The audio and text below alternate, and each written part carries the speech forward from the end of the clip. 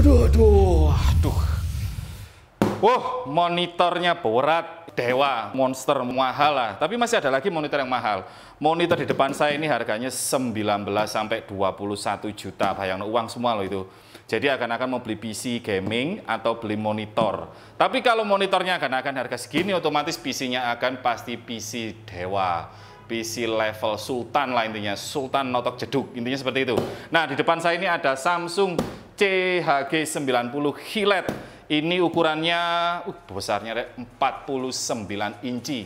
Jadi akan saya unboxing Samsung monitor dewa rek, monitor luarang rek. Waduh, waduh, waduh, waduh. Apa aja yang didapat? 49 eh 49 in 20 juta apa aja yang didapat? Siapa tahu dapat Magicom, kompor, kan lumayan di dalamnya ada bonusnya. Oke, pertama ada dus. Wih. Wow. Wow. Wow. Wih, berat, Bro. Wih, berat, Bro. Wih, berat. Wih, buset. Waduh, berat ya, 49 in. Wuh. Wuh. Wow. Wow, monitornya lan. Waduh, waduh, waduh, waduh, waduh. 49 in. Curve. Wah, ciamik seworo ini. Wah, ciamik, ciamik, ciamik. Sekarang kita akan lihat detailnya, oke? Okay?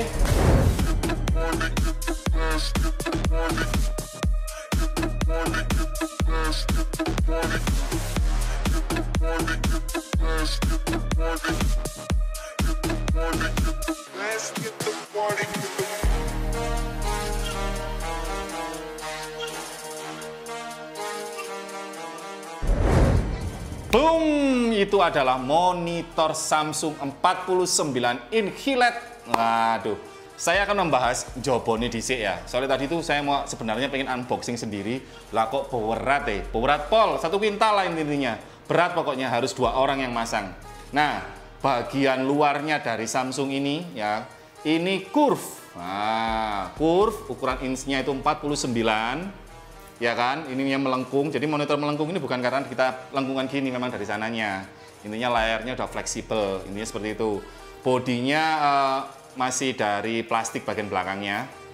Terus kalau untuk framenya dia sudah metal. Nah ini metal. Terus ini kalau saya sebut adalah frameless. Jadi pada waktu kita matiin layar itu benar-benar seperti tidak ada bekas bezelnya. Jadi tidak ada pinggirannya lah jadi kalau dimatiin bisa benar-benar black. Nah ini frameless. Nah ini dari besi, belakangnya dari plastik. Terus kalau untuk kakinya dari besi, tapi dibalut sama plastik untuk menimbulkan kesan krom lah. Tapi di bawahnya ini besi besi tutup mendol lah intinya, berat intinya. Nah ini ini besi modelnya gini. Tapi kalau modelnya kurang keren ya, nggak seperti merek lain. Tapi kalau mau uh, kakinya ini dipendekin gini nanti jatuh ya sebenarnya benar juga sih. Memang harus lebar kayak gini biar untuk menompang kanan kirinya biar nggak jatuh. Cuma agak kurang kurang keren dikit lah. Tapi karena nggak nggak ngurus lah bawahnya seperti apa yang penting monitornya. Oke terus bagian belakangnya ya. Lulu lulu lulu canggih monitornya rek. Bagian belakangnya ini monitornya itu bisa kita putar kayak gini. Nah nah kayak gini nih. Terus habis itu bisa dibikin naik turun. Loh, naik turun sampai bawah. Bisa naik juga wah botirek uh nah ini. Terus habis gitu dia bisa uh, apa ya lek wong Jawa ngomong diingkluk iki rek. Apa iki ya? Nah segini inilah intinya. Nah bisa kayak gini. Terus di bagian belakangnya itu ada kabel manajemen. Jadi monitor-monitor mahal itu selalu ada kabel manajemen.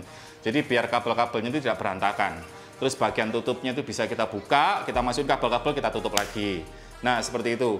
Terus habis gitu di bagian belakangnya juga ada headset stand. Jadi kita klik, kita tarik gini, headsetnya kita bisa taruh di bagian belakang. Nah, seperti itu. Tapi kalau menurut saya mau bazir, mending taruh di sini headset standnya kan keren. Atau di sini atau gimana, menu fitur baru lah. Kalau di belakang kan nggak mungkin kita ngelewatin gini. Nah, intinya seperti itu. Terus monitor ini bisa dibuat wall, wall dinding. Jadi bisa ditempelkan di dinding, ada bracketnya, atau dipasang di PC seperti ini. Terus kalau untuk port-portnya ya, port-portnya ini benar-benar oke okay banget lah. Uh, ada dua USB, bisa fast charging buat handphone, nancepin handphone juga bisa. itu terus habis itu ada DisplayPort ada HDMI-nya dua ada mic in dan mic out sama yang satu lagi itu colokannya orang servis sama yang satu lagi itu PC in nah jadi benar-benar lengkap untuk portnya ini. Cuma sayangnya dia nggak ada audio keluar. Jadi nggak ada audio ya. Tapi ya mungkin ya memang bener nggak ada audio lah ya. Kalau misalkan monitor mahal ada audionya ya lucu. Pertama-tama orang beli monitor mahal pasti punya speaker yang lebih bagus. Ini aja 19 sampai 20 juta 21 jutaan lah otomatis nggak mungkin dia pakai speaker bawaan uh, monitor. Dia pasti punya speaker Harman Kardon atau Edifier atau Altec. Nah pasti gitulah nggak mungkin pakai monitor bawaan ini. Ya memang benar. Jadi memang tidak built-in speaker. Terus uh, kita bisa mengatur di menunya. Tadi itu ada lighting off dan lighting on. Jadi belakang ini kita bisa keluar backlightnya warna biru lah. Kita on kan birunya keluar kita off kan birunya mati. Jadi kalau layar ini nempel bersebelahan dengan tembok membias warna biru. Nah itu kerennya untuk monitor gaming kayak gini nih. Terus habis itu resolusinya ini kan ultrawide kan. Ultrawide itu resolusinya 32 banding 9. Lebar berarti intinya. Nah sekarang saya akan membahas uh, tombol-tombolnya ya. Jadi Samsung ini ada empat tombol. Jadi ada tombol uh, satu profile, dua profile, tiga profile, sama tiga joystick.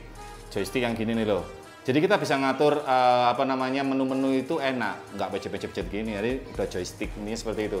Terus uh, ada profil 1, 2, 3. Jadi akan-akan bisa menyimpan apa aja. Misalkan profil 1 buat game, profil 2 buat movie, profil 3 buat editing atau dibuat apa dibolak-balik bisa lah intinya. Jadi Samsung sudah menyediakan profile. Menu di Samsungnya ini ada namanya movie, RTS, RPG, FPS, uh, terus ada cinema, ada editing, ada custom jadi intinya itu Samsung sudah menyediakan profil-profil, jadi akan-akan tinggal milih atau bisa mengedit sendiri. Tapi intinya akan-akan bisa memilih kalau males nyeting lah intinya. Ditaruh di profil 1, profil 2, profil 3. Itu untuk menu-menunya ini ya. Oke. Terus kalau untuk menunya tadi di dalamnya ini uh, ada menu namanya uh, eye saver. Eye saver itu jadi intinya itu blue light, menangkal uh, radiasi biru. Jadi monitor itu kan selalu ada, ada radiasinya kan monitor TV, monitor tabung, monitor TV, monitor komputer, itu ada radiasinya. Kita bisa ditangkal melalui blue light. Kita bisa on atau off. Resolusi layar di menu Samsung ini kita bisa custom. Ini resolusi layarnya itu 3840 kali 1080. Kita bisa tingkatkan lagi 3800 kali 2160 2K atau ke Full HD. Tapi kalau di dalam dusnya itu Full HD, tapi begitu dipraktekkan dia bisa sampai 2K resolusi. Jadi kita bisa, uh, ini contohnya ini saya klik kayak gini nih, di menu sini, uh, display setting. Nah, ini ada resolusi maksimalnya sampai 2160. Intinya seperti itu. Jadi bisa 2160, bisa 1080. Nah, tadi itu kan uh, untuk menunya. Jadi menunya ini Samsung benar-benar lengkap lah intinya seperti itu. Terus sekarang saya akan membahas detailnya ya, detailnya dari monitor Samsung Dewa ini ya. Pokoknya monitor Dewa lah kalau menurut saya. Pertama-tama dia sudah respon time-nya. Respon time itu satu milisecond. Jos, cepat. Jadi otomatis uh, kita bisa mengatur apa namanya melalui menu tadi itu kita bisa mengatur respon time. Kita mau tinggikan, mau rendahkan bisa. 1 2 3 4 atau mundur ke satu bisa. Jadi kita bisa custom intinya seperti itu. Respon time-nya 1 milisecond. Jos, jam soro. Terus habis gitu untuk hertz-nya dia ada 144 hertz. Terus kita bisa custom lagi. Customnya kita bisa jalan ke 90, ke 100, 120, 144. Tapi tergantung dari komponen agan-agan. Misal, agan-agan memakai VGA yang terlalu rendah, uh, eh, GT series atau R7 series, dia hanya bisa maksimal di 100 Hz, 120 Hz kadang-kadang bisa. Tapi kalau kadang-kadang sudah memakai RX series atau GTX series, kadang-kadang bisa sampai ke 144 Hz. Ini kebetulan saya ngetesnya pakai laptop ya. Jadi otomatis dia hanya menampilkan di 120 Hz, dia nggak bisa mentok. Tapi kalau saya memakai VGA eksternal, GTX atau RX series, dia bisa sampai ke 144 Hz. Jadi bisa di custom, intinya seperti itu. Terus habis gitu uh, kelebihannya ini udah 1 ms ya kan.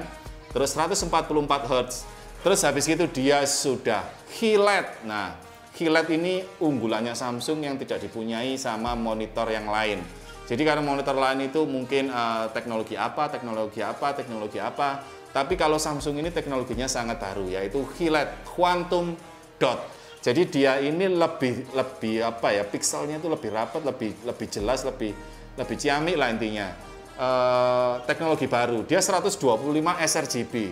125 persen loh, bukan 100 persen. Merek sebelah itu 100 persen, tapi kalau Samsung sampai 125 persen. Ngapain saya bilang merek sebelah ya, wong saya nggak di endorse. Merek LG itu 100 persen, ya kan? Kalau ini 125 persen. Jadi benar-benar dia di atas 100%, 125%. Nah, itu. Terus uh, dilengkapi lagi itu sama HDR, HDR. Jadi high definition ring, ring, ring high definition intinya seperti itulah. Oh iya iya iya, dapat kiriman teh botol susru. Oh ganti iklan nih bro. Gak apa-apa lah, biar semangat. Oke. Terus dia sudah ada menu HDR. Jadi HDR itu warnanya lebih ciami. Contohnya seperti ini. Kalau kita mencari warna yang terang ya dia terang. Kalau tadi kita mencari warna yang gelap ya benar-benar gelap. Jadi seperti kontras rasio cuma disempurnakan lagi intinya lebih. Jadi dulu kontras rasionya berapa? 10.000 banding satu. Udah nggak zaman, sekarang diganti HDR, lebih ciamik suara lagi. Jadi kayak gini contohnya.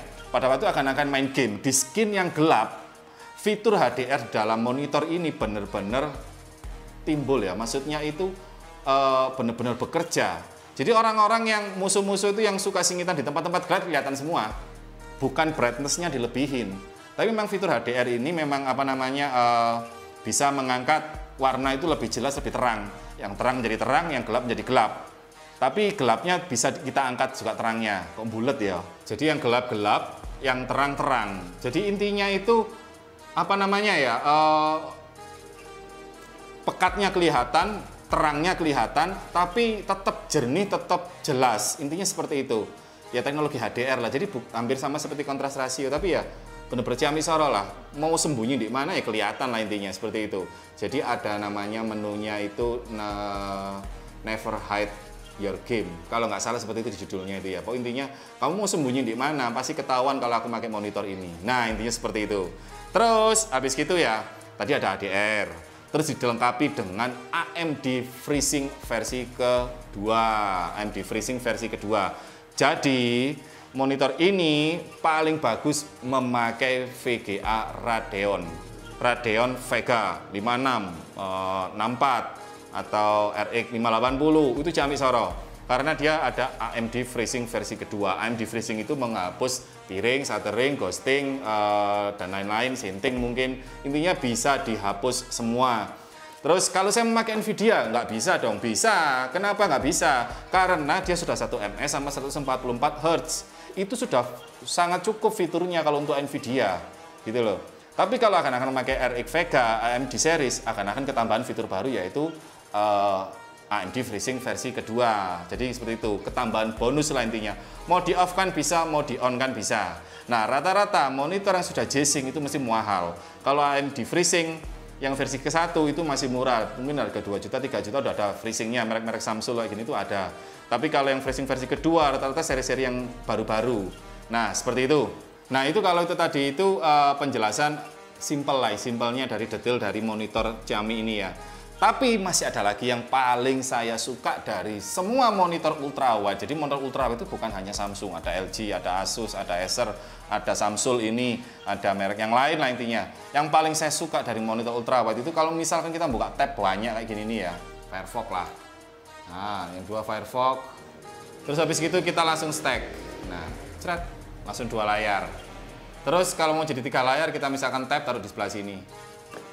Kita geser, taruh sebelah sini, cerek, jadi tiga layar. Jadi otomatis uh, layar ini otomatis terbagi, jadi lebih gampang. Misalkan sini nonton YouTube, atau sini nonton YouTube, atau sini Facebookan, yang sebelah sana JAV. Nah, cukup lah intinya seperti itu. Jadi intinya itu bisa apa namanya ya, uh, enak lah intinya. Kalau kurang banyak lagi gimana? Bisa. Aku buka Explorer banyak gini. Aku langsung stack by stack, cek, langsung jadi banyak. Jadi otomatis dia langsung membagi. Loh, enak banget. Ini misal ini kan terlalu banyak. Kalau misalkan suka main trading Bitcoin kayak gitu itu ya. Main trading Bitcoin. Nah, saya buka berapa lah? Misalkan 4. Nah, lagi ini ini saya stack, loh langsung buka.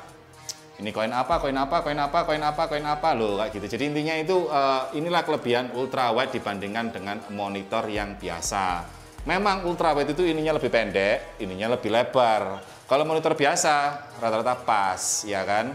Tapi kalau ultra wide itu ininya agak pendek memang, terus sebenarnya agak lebar. Yang 25 in lebih pendek lagi, cuma lebih lebar. Nah intinya seperti itu. Ini kelebihan dari ultra wide jadi kalau akan-akan main game atau nonton VR itu benar-benar bisa full screen seperti ini loh. Akan bisa melihat sampai kanan kirinya semuanya itu kita bisa lihat. Nah ini kelebihannya. Tapi kalau monitornya nggak uh, ultra wide dia nggak bisa VR-nya bisa full kayak gini nih. Beda kalau akan-akan nonton uh, film kayak gitu itu dia nggak bisa full screen seperti uh, apa namanya VR intinya seperti itu. Nah ya kan ini kan nggak bisa full. Nah, itu adalah penjelasan singkat dari saya. Jadi, monitor itu menyesuaikan dari kebutuhan agan-agan lah. Misalkan saya desain grafis, otomatis saya memakai monitor yang flat. Flat yang ada IPS-nya, minimal 24 in Full HD 1080. Mantap. Mana? Habis itu kalau saya gamer, oke, okay, saya memakai monitor 2K resolusi atau 4K resolusi. Pakai white gini lebih ciamik soro Terus habis itu saya suka nonton film sama ngegame pakai yang curve. Wah, apalagi kalau suka game sama nonton film pakai yang curve sama ultra wide. Intinya itu semua tergantung dari selera kanakan bikinnya pinginnya seperti apa. Kalau nggak ada yang cocok, kurva gak cocok, flat gak cocok, IPS gak cocok, pakai layar tabung. Pakai layar tabung kotak gini 12 in, tancepin pantelengin gini sambil ngedit. Nah, mungkin cocoknya akan akan di situlah intinya seperti itu. Jadi semua tergantung dari kebutuhan. Oke? Okay? Saya Didi Christian di Kiascom Channel. Salam teknologi.